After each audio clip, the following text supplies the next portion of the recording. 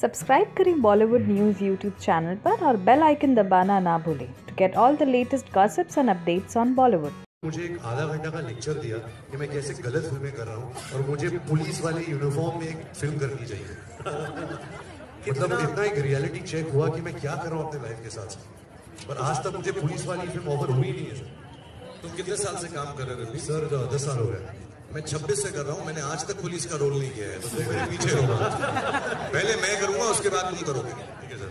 मेरी बॉडी बन जाए उसके बाद कांस्टेबल से बनूँगा सर। जब आप पुलिस ऑफिसर बनोगे मैं आपका कांस्टेबल ये आज सर देवेंद्र भारती साहब जायसवाल साहब ये प्रॉमिस हो गया। है जी। जैसे ही मुझे थोड़ा सा बड़ा रोल मिलेगा मेरे असिस्टेंट का रोल रणबीर करेगा।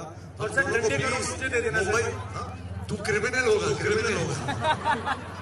हमें मुंबई पुलिस के अंदर भर्ती मुझे एक आधा घंटा का लेक्चर दिया कि मैं कैसे गलत फ़िल्में कर रहा हूँ और मुझे पुलिस वाले यूनिफॉर्म में एक फ़िल्म करनी चाहिए। मतलब इतना एक रियलिटी चेक हुआ कि मैं क्या कर रहा हूँ अपने लाइफ के साथ।